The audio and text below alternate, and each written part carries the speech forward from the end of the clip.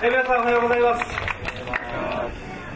えー、中山道宿場祭り、本当に暑い中になります。昨日、あの、今までお話があったように、昨日、宿場会議があったわけですけども、平成6年、今から16年前にも、他人の地で宿場会議が開かれました。で、その時は7月の23、24日と、まあ、夏、梅雨明けの本当に暑い時でした。その時にも、山の出汁とか、あ雪の神楽とか、あ長の太鼓、暑い中でやっていただきましたけども、あの時にも勝る暑さが今日じゃないかな。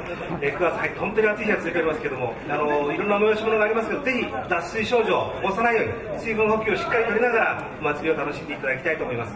祭りを楽しみながら、昔を忍ぶ、そういう祭りにしていただきたいと思います。今日は大変ご苦労様でございますが、どうぞよろしくお願いいたします。ありがとうございました。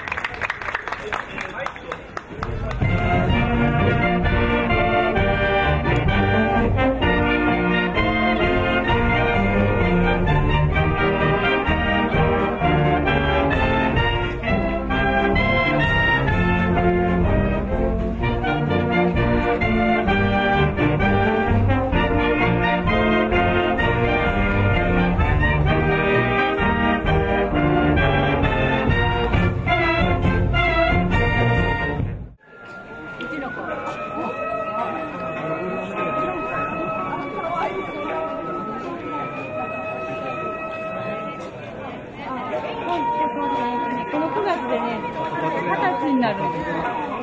あ、さ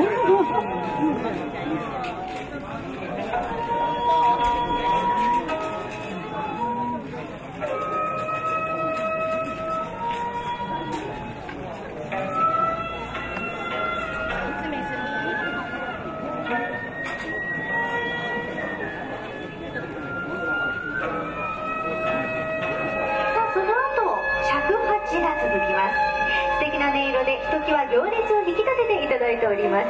ホソン姿のシャツ